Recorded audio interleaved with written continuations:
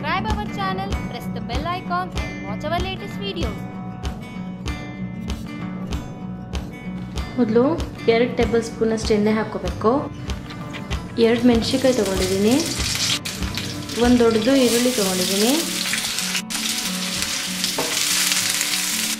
ಈರುಳ್ಳಿ ಆಗಿದೆ. ಇದಕ್ಕೆ ಮೂರು ಮೊಟ್ಟೆ ಹಾಕೋಬೇಕು. ಸ್ವಲ್ಪ ಉಪ್ಪು ಹಾಕೋಬೇಕು. ಇದಿಷ್ಟನ್ನು ಈಗ ಮಿಕ್ಸ್ ಮಾಡ್ಕೋಬೇಕು. ಮೊಟ್ಟೆ ಈ ಥರ ಅರ್ಧ ಬೆಂದ ಮೇಲೆ ಇದಕ್ಕೆ ರೈಸ್ ಹಾಕೋಬೇಕು.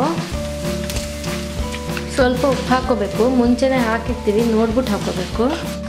ಪೆಪ್ಪರ್ ಪೌಡ್ರು ಅರ್ಧ ಸ್ಪೂನಷ್ಟು ಸೋಯಾ ಸಾಸು ಒಂದು ಸ್ಪೂನಷ್ಟು ಇದಿಷ್ಟು ಈಗ ಮಿಕ್ಸ್ ಮಾಡಿ,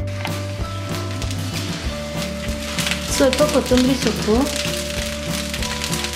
ಫ್ರೈಡ್ ರೈಸ್ ಈಗ ರೆಡಿ ಇದೆ.